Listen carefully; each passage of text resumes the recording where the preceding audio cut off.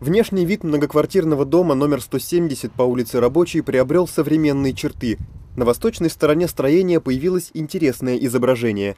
Идея необычным образом украсить многоэтажку возникла у председателя Совета дома Тамары Сидоровой еще два года назад.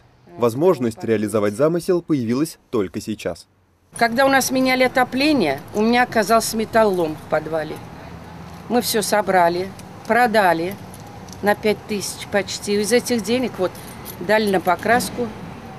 Нам закупили они краски, сам колер, лак и разрисовали. Это все на наши собственные средства. Воплотить идею в жизнь жители пятиэтажки доверили Марии Назаровой. Соседи прекрасно знали, что девушка хороший художник и будущий архитектор.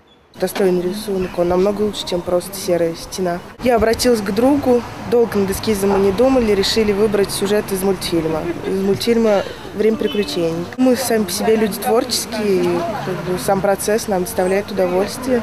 Рисунок Маши на стене пятиэтажки оценили не только соседи, но и чиновники городской администрации, а также руководители муниципальных служб. В итоге дом по улице Рабочей был признан лучшим в конкурсе по благоустройству.